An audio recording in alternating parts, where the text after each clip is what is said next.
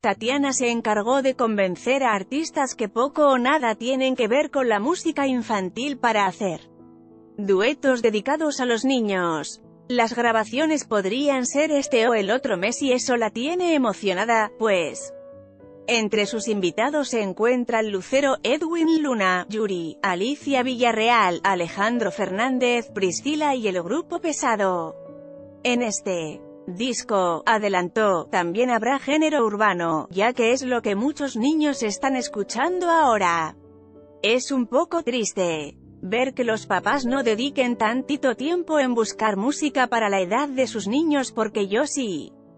Me he dado a la tarea de ver que si les gusta el reggaetón entonces les voy a dar reggaetón.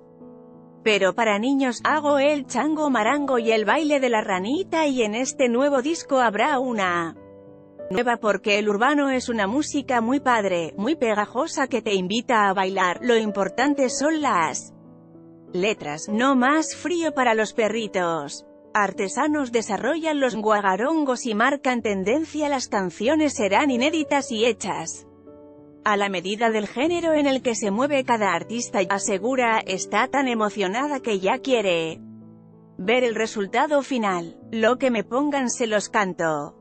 La reina de los niños compartió que fue invitada por Matute y por el espectáculo de los Pop Tour a cantar con ellos, aunque no canciones infantiles. Desafortunadamente, su agenda se lo impidió pero eso no quiere decir que se niegue a canciones más maduras.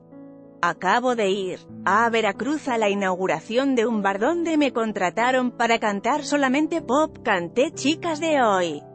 Yo soy cantante y lo que me pongan se los canto.